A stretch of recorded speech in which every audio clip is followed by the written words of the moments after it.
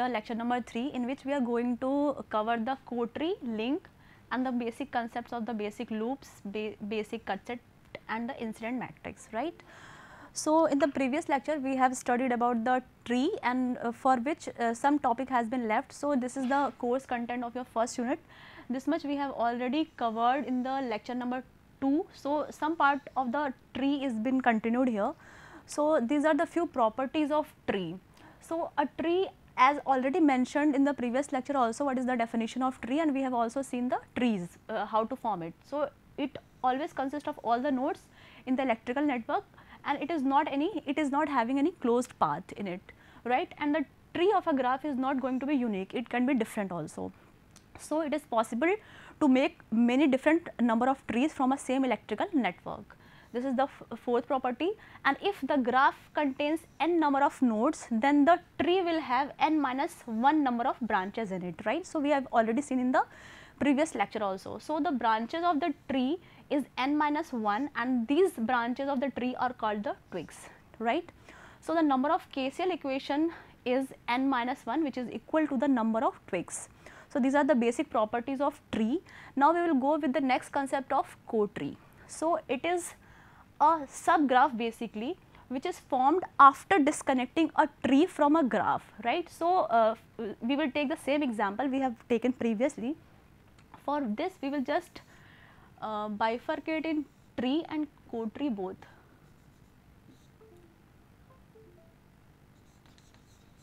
Tree and co-tree. In the last lecture we have uh, made three trees with it. So, we will take the same three trees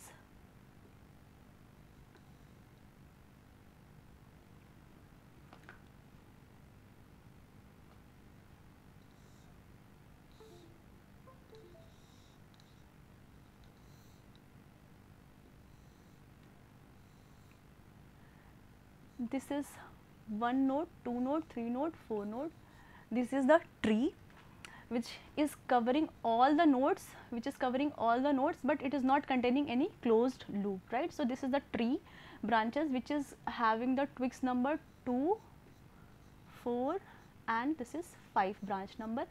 If we denote the orientation also, this is the direction which is saying the orientation. So, we will denote it by the arrow sign, right. So, this is a tree made, right. So, from this a cotree is made then it is basically the branches this branches has been taken for the tree this branches is taken in the tree this branches is taken in the tree. So, the branches which has been left which is not considered in this tree is called the cotree. So, what are the other branches which has been left 2, 4 and 5 are taken in the tree. So, it means ki branch number 1, 3 and 6 is left. So, these are the branches of the cotree. So, this is the third number branch which is connecting first and the third node. This is the second branch which is the first number which is connecting first node and the fourth node and this is the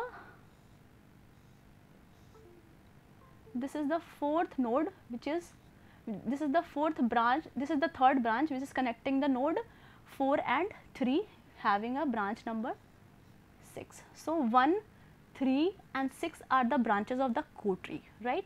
Similarly, if we take, similarly if we take, similarly if we take, if we take the another branch there is a way to make a tree and a co-tree on the same graph which can be shown here. Suppose we are taking this tree 1, 2, 3, 4.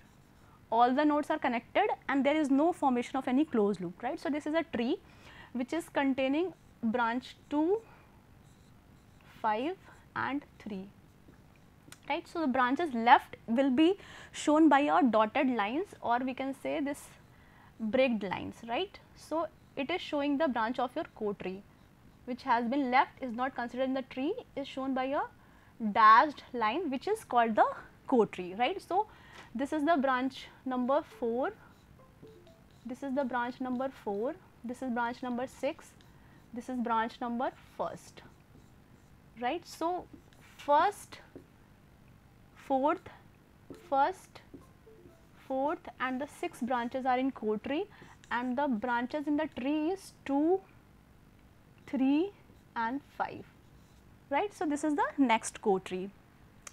So, if we see the property of it, it says that the branches of the co-tree is called the chords. It means the branches which we have written here, first, fourth and the sixth, which is the branch of your co-tree, it is called the chords, right? It is called the chords. And now we have already seen the branch numbers. The tree branch is nothing but it is, it is equal to n minus 1, right? So, suppose for example, if we take this tree and co-tree sets, there are 1, 2, 3 means 2, 3, 5 is the tree branches, it is called the twigs. So, it is basically in this figure there are n is equal to 4 and b number of branches is equal to 6, right. So, n minus 1 is 4 minus 1 that is equal to 3. So, we can see, see here there are 3 number of branches in your tree and what is left will be the co-tree branches, right. So, what is left total number of branches is b. So, b what is left will be b minus n minus 1, right, n minus 1.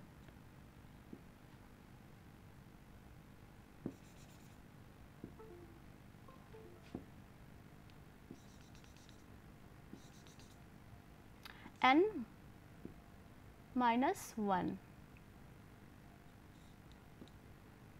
n minus 1 right. So, for this figure b is 6 minus 4 minus 1. So, it is equal to 6 minus 3 that is equal to 3. So, there are already 3 number of branches in your co-tree that is called the chords. So, from here this property is also clear that the number of branches number of branches in your co-tree is b minus n minus 1 that is called the chords and since the sum of the number of branches in the tree and the co-tree is called the total number of branches. Here it is written the sum of the number of branches in the tree and the number of branches in its co-tree is equal to the total number of branches, right. It means ki n minus 1 is the branches of tree plus b minus n minus 1 is the total number of branches in the whole graph. So, it is always equal to b, right. So, this is the properties of the co-tree. Now, the next concept is the basic or the fundamental loops. It is actually a loop which is a closed path, right, of a given graph which contains this one only one, one and only one chord will be available in that loop and the remaining branches is the tree branch, right. It means that there is a loop which is containing only one and one chord branch, one and one co-tree branch that is the chord and the remaining branches in that loop will be the tree branches, right. So, the number of fundamental loops for a given mm, graph is equal to b minus n minus 1. Number of fundamental loops in a graph given graph will be b minus n minus 1 that is equal to the number of chords also and it is equal to the number of KVL equation that can be formed from a given graph right. So, these fundamental loops are also called as fundamental tie sets fundamental tie sets right. So, fundamental is written by F and this tie set is written in short form like this. In many books you can see that it is F tie set that is the fundamental tie sets right. Now, the next property of the fundamental loop is the direction of the F tie set that is the fundamental tie sets is same as the direction of your chord. So, here the orientations came into picture that is the direction of your loop fundamental loop that is the fundamental tie set is same as the direction of your chord. Fundamental loop will consider only one and one chord and then and the remaining will be the tree branches, right. So, the direction of the fundamental tie set is same as the direction of your chord. So, we will see with the same example of the graph, here the same graph has been taken, the orientation has been shown by the arrow which is going to be play a role here. Suppose for example, it says that fundamental loop containing only one chord, right. It means ki it is containing only one co-tree branch. Suppose we are taking this tree. It is having 1, 2, 3 and 4 nodes.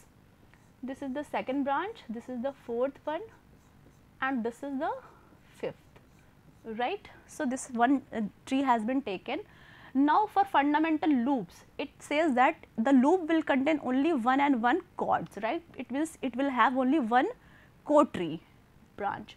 So if we draw the cotree also, it means the branches which are left in which are left means it is not in your tree is the cotree, right? So these are the shown by the dashed lines, which is the which is actually the cotree branch, right?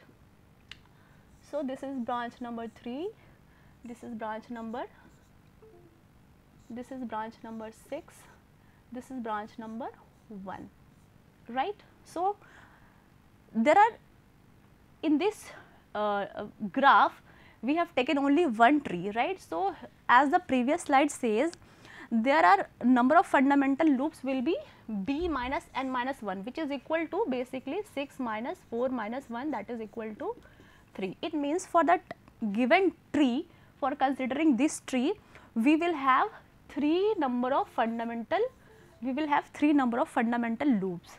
See, fundamental loop says that it contains only one and one chords, right. It means ki if we take this loop, if we take this loop, it is containing 2 branch, 5 branch and 1 branch, right. It can be seen that this one branch is the only branch which is the cotree branch. It means it is a one chord. And the next property also says that the direction of the fundamental loop is same as the direction of your chords, right. It means ki this loop's direction will be same as the direction of your chord, right. It means ki the loop, fundamental loop's direction will be in the same direction of your chord direction, right. So, the fundamental tie set is L1 that is the loop number 1. This is the loop number 1. It is basically the branches which is 1, 2 and 5, right.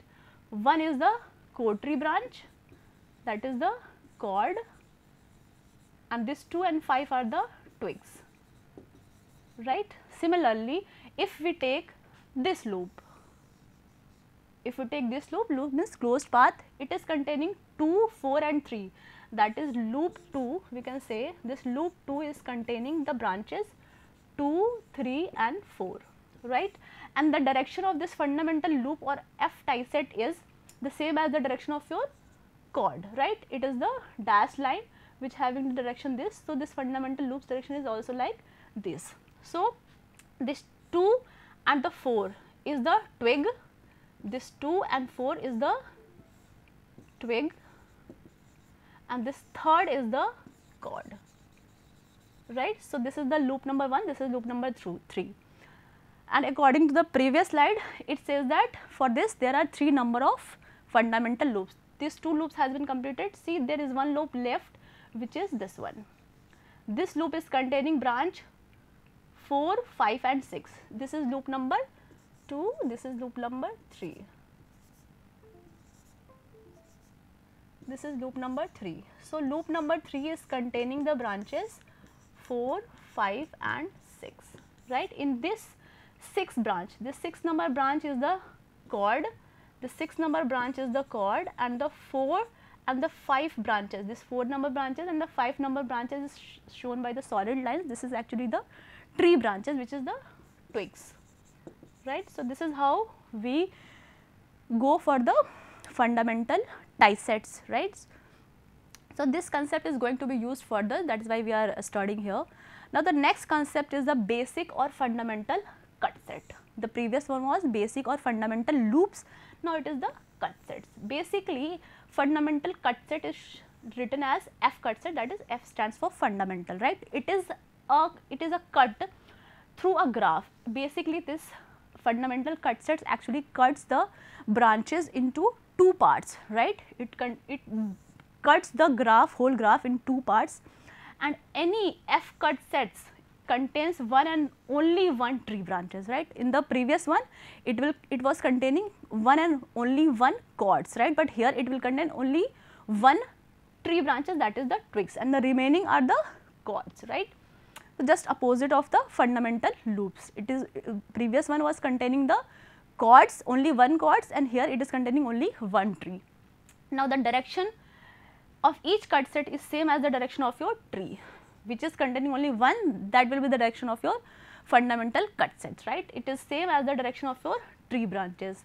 Now for the previous one it was containing number of fundamental loops was b minus n minus 1 now here the number of fundamental cut set is nothing but the n minus 1 which is equal to the number of twigs and which is also equal to the number of KCL equations right. So, we will see with the same example.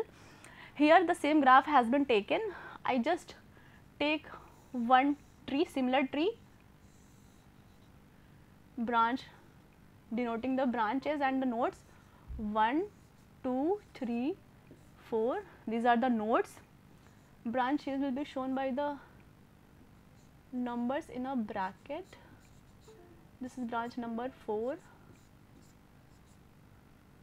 this is branch number 5 right?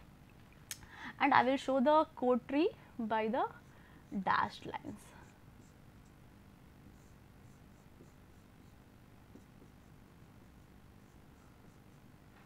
With the orientation of the branches also 1 and this is this is branch number 6. So, your fundamental cut set says that it is a cut which is going to divide your graph in two parts, right? And it will contain, that cut will contain one and only one tree, right? So, see here, I am just going to cut these branches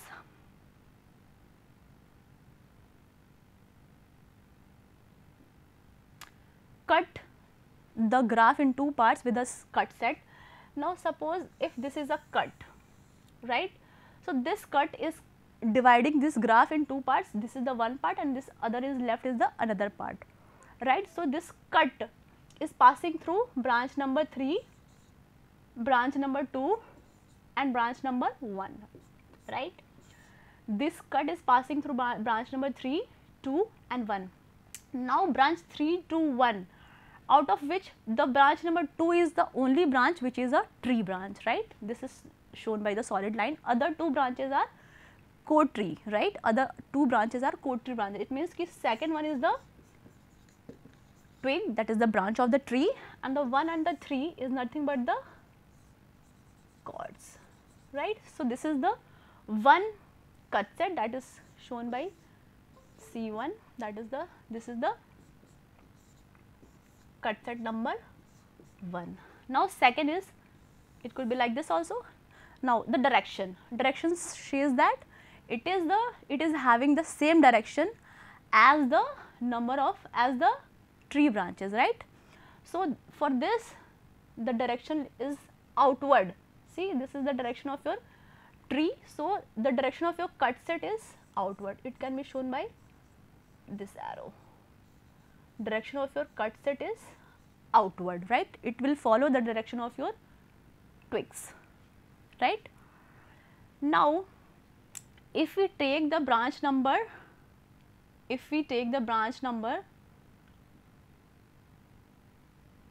4 5 and 6 i will just erase it because there is lot of confusion creating here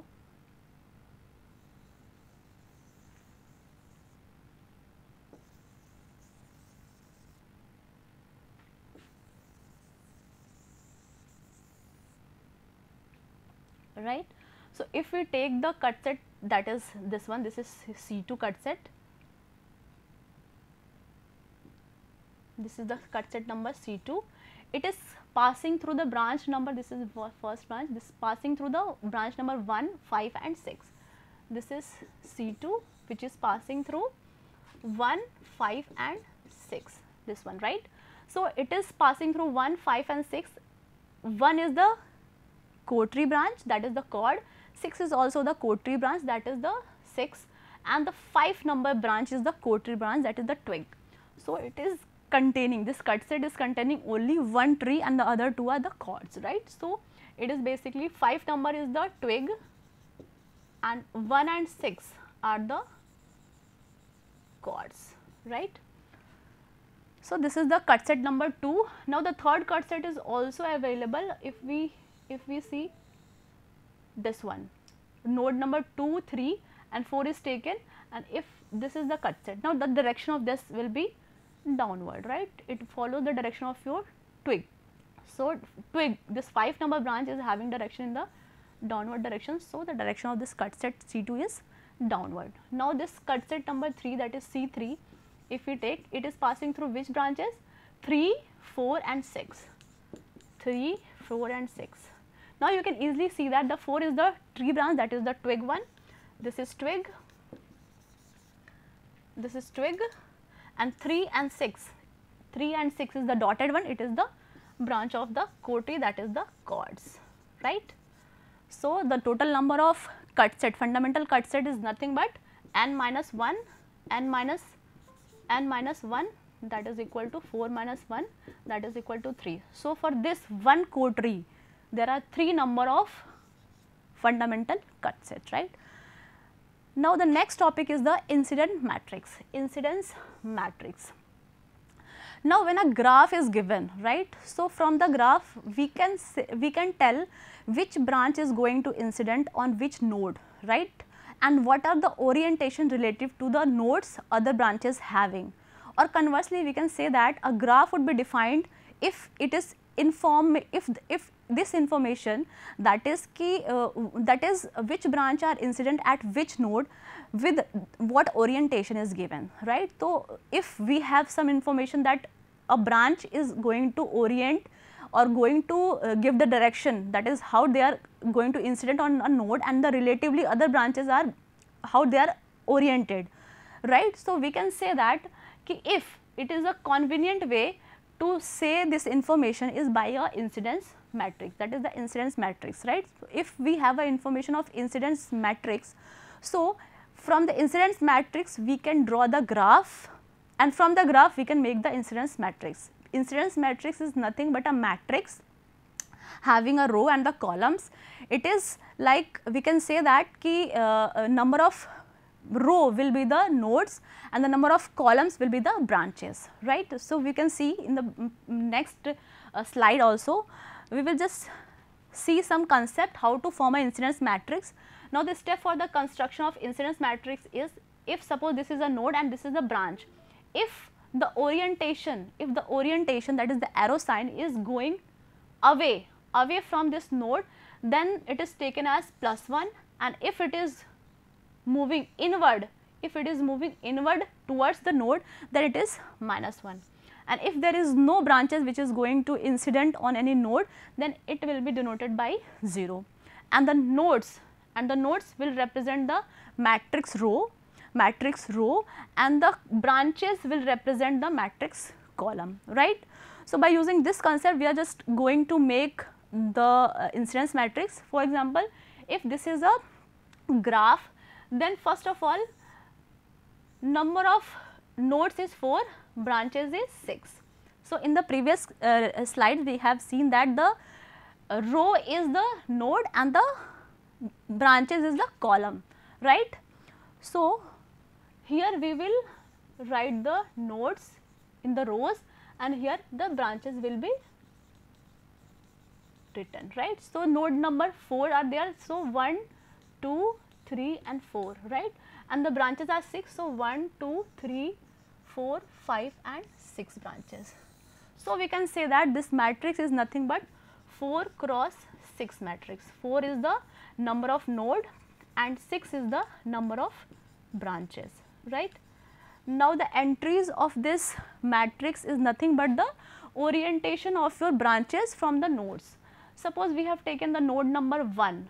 Node number 1 is containing branch number 3, 2, 3, 2 and 1 right? 3 2 and 1 so branch number 4 5 6 is not connected with branch number uh, sorry with the node number 1 so these entries will be 0 so 4 5 6 will be 0 for the node number 1 now 2 3 and 1 is having 1 but the um, sign of the 1 is either positive or negative that will depend on the whether this branch is going to inward or outward to the node right.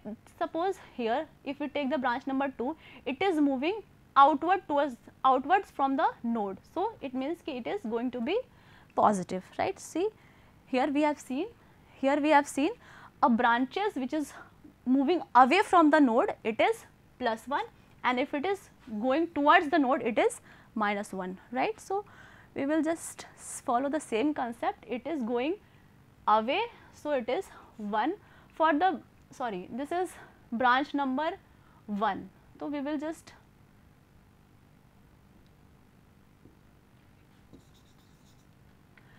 for branch number 1 it is moving towards the node right it is moving towards the node so it is minus 1 for the branch number 2 it is going outwards from the node number 1 so it is 1 for the branch number 3 also it is going outward.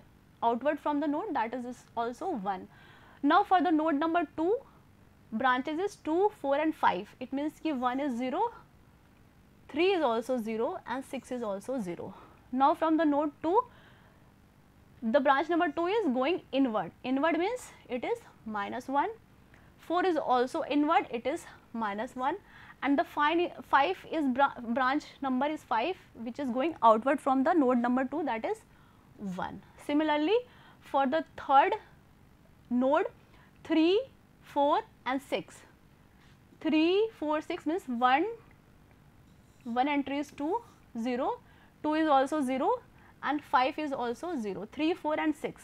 3 is going inward to the node that is negative, 4 is going outward that will be positive that is plus 1 and the 6 is also moving outward that is also positive. Similarly, for the fourth number node we can see 1, 5 and 6. So, 2, 3 and 4 will be will be 0 1 is moving outward it means it is positive 5 and 6 are inward that is going to be negative. So, this is the whole concept of making a incidence matrix in the next class we will just see the left topics which are nothing but cut set matrix, tie set, duality and the loop and the nodal methods for the analysis. Thank you for this lecture.